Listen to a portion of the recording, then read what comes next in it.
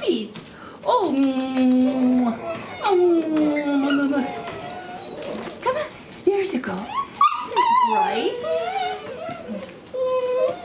These are eight-week-old Airedale puppies. Let's go look at mom. There's Sapphire, the mama.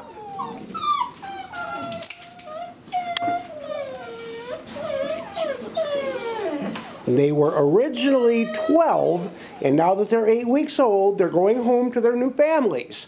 So we have eight left, but another one's going home today. Sophia.